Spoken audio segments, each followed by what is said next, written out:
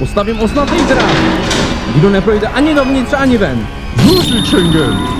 Bude tady druhý Maďarsko. A teď já si vezmu všechny média. A od rána do večera samé pravdy o mě.